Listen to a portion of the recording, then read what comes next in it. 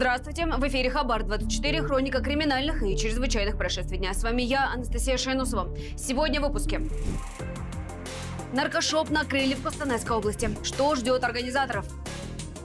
Кошелек или жизнь? Вымогатели из Актюбинской области могут отправиться в тюрьму. Хотел приумножить, остался ни с чем. Очередная жертва мошенников. Счет шел на минуты. История чудесного спасения мамы и детей из Жамбулской области. От 10 до 15 лет тюремного заключения грозит четырем жителям Костанайской области за наркоторговлю. Мужчины организовали в регионе интернет-магазин по продаже дури. Канал поставки удалось пресечь. Веб-шоп работал на протяжении четырех месяцев. Выяснилось, что подозреваемые намеревались распространить на территории области полтора килограмма синтетики. Но кроме сбыта дизайнерских наркотиков, дельцы занимались выращиванием на дому наркосодержащих растений. Задержанным по 27 и 29 лет начато досудебное расследование по статье 297 по части 3 Уголовного кодекса Республики Казахстан. Незаконное изготовление, переработка, приобретение, хранение, перевозка в целях сбыта, пересылка либо сбыт наркотических средств в особо крупном размере. На сегодняшний день проводятся необходимые следственные мероприятия.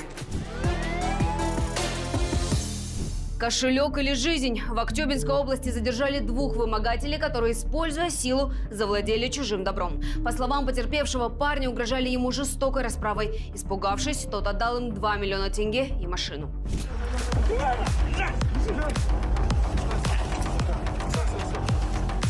Злоумышленников 23 и 29 лет удалось поймать с поличным в момент передачи денег. Несмотря на довольно молодой возраст, оба уже были судимы за тяжкие преступления. В этот раз им светит от 3 до 7 лет лишения свободы. Что делать, если у вас вымогают деньги? Не ведите с вымогателем разговоров по телефону, требуйте личной встречи. Важно реально оценить серьезность ситуации. Иногда достаточно припугнуть вымогателя полиции. Собирайте доказательства, которые пригодятся вам в полиции и суде.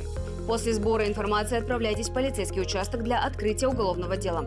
Если вымогатель настиг вас на улице, ведите с ним беседу громко. Старайтесь, чтобы на вас обратили внимание прохожие.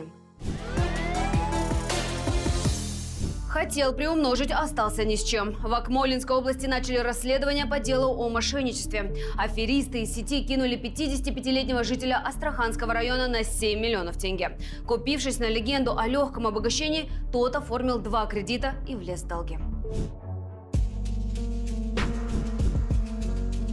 Со слов мужчины, он решил попробовать себя в роли инвестора, увидев заманчивую рекламу в интернете. Речь шла о так называемом проекте «Купи-продай».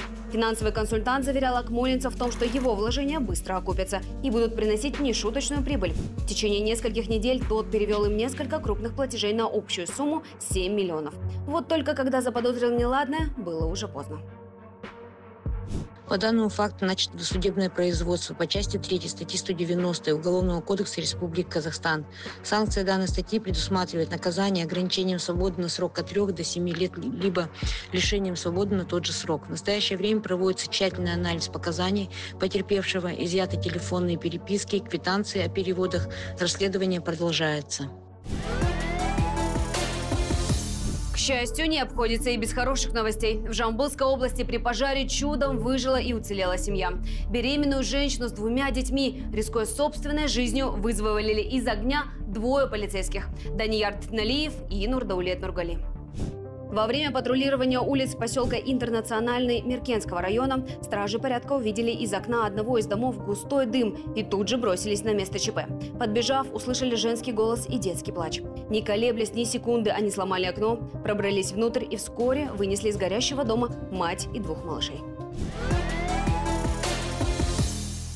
Сколько бы наркоторговцев, вымогателей и мошенников не было вокруг, порядочных людей все равно больше. И даже один эпизод добра среди обилия тревожных новостей – повод в это верить.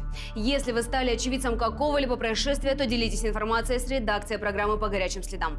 Наш электронный адрес – кисикщебулем собачка gmail.com. На этом у меня все. Увидимся на телеканале Хабар 24.